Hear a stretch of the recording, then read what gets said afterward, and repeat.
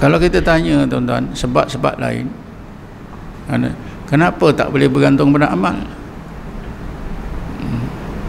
ni dijawab oleh para ulama eh kerana amalan itu sebab syarat eh?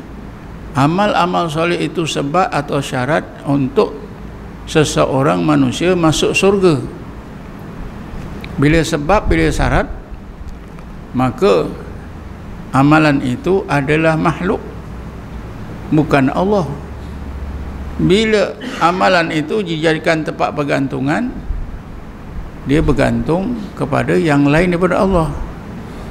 Uh, dilihat dari sudut kejernihan kehalusan tauhid sudah menyalahi tauhid. Sudah ada unsur menyekutukan Allah Subhanahu wa taala.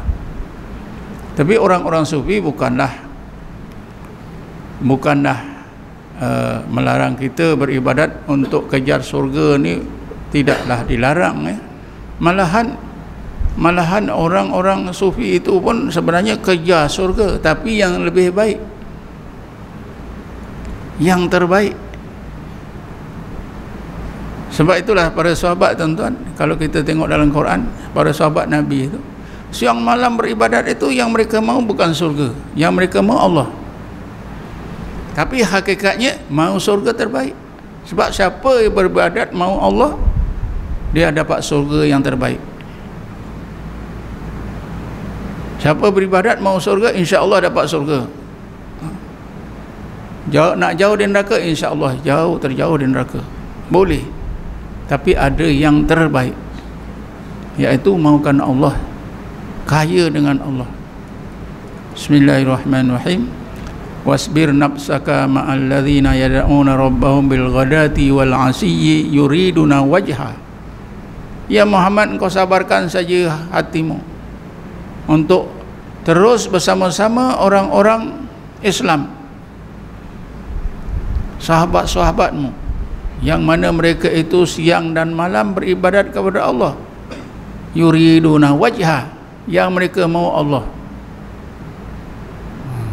mereka ya sahabat-sahabat Nabi ini beribadat siang malam yang mereka mau Allah.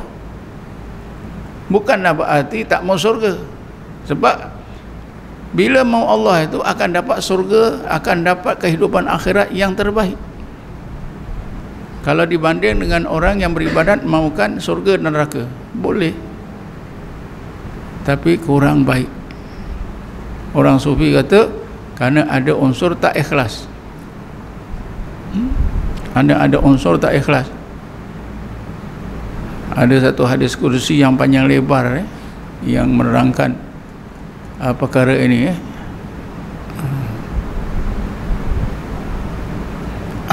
nah, jadi bila kita dikurniakan oleh Allah pada batin pada zahir taat pada batin kita rasa kaya dengan Allah memandang Allah berarti ini sepertilah Nabi sepertilah para sahabat mereka tak mandang tidak bergantung pada amal. Mereka mandang Allah. Ini menjadikan amalan kita itu menjadi amalan yang ikhlas.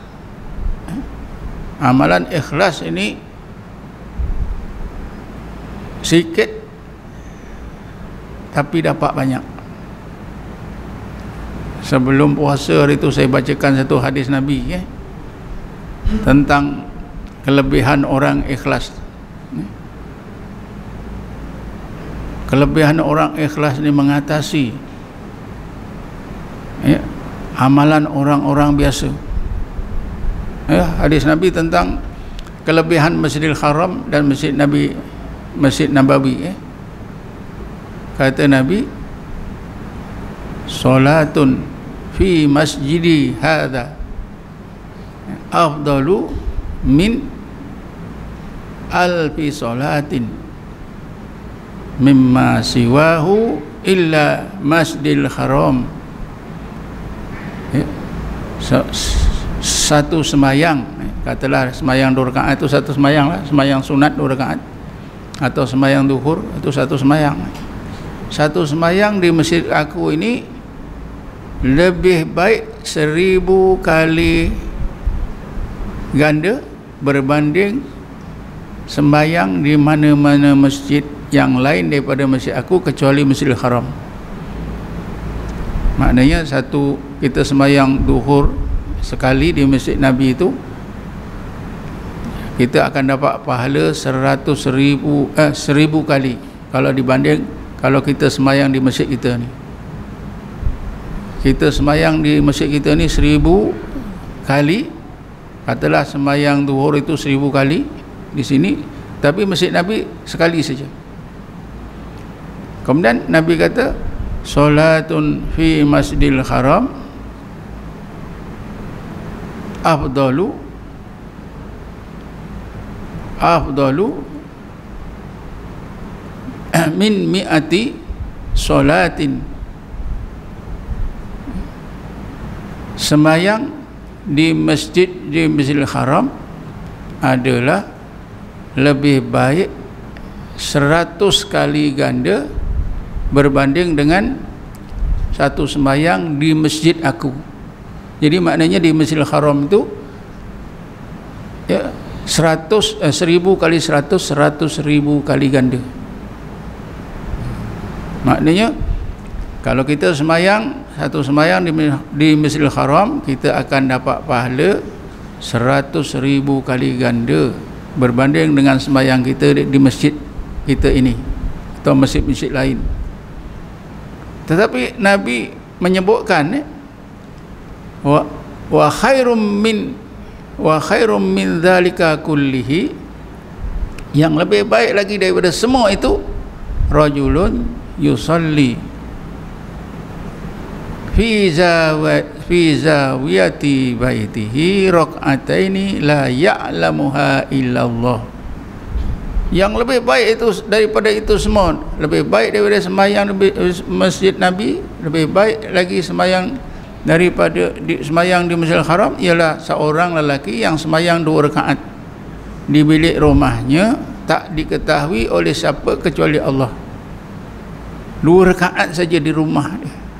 Ha, di kampung Sungai Cincin ni tapi tak syaratnya apa? Tak diketahui semayangnya itu kecuali Allah. Malaikat pun tak tahu. Syaitan pun tak tahu.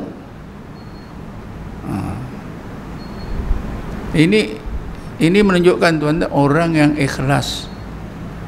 Orang ikhlas bila beribadat malaikat pun tak tahu nak catat kebaikannya.